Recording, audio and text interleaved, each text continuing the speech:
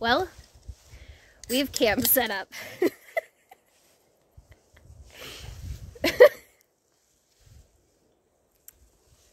um, it's a little bit intense.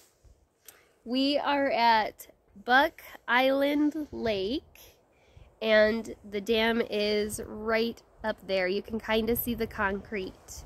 Um, it's been hard.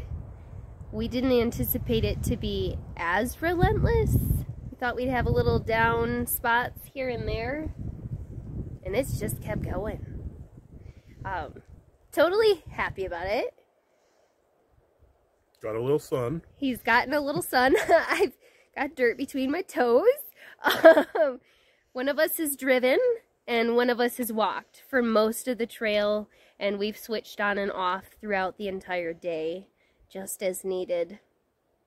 And I think we are going to still do three days. We were hoping we might be able to do two, but just because we've got to be able to drive the LJ home after the trail, uh, it's looking like three days. So, anything you want to add? We have this little visitor bird. Do you see this bird? Where did he go? There's this bird that keeps wandering around our camp. There he is. Okay. Do you see him? Look at him go.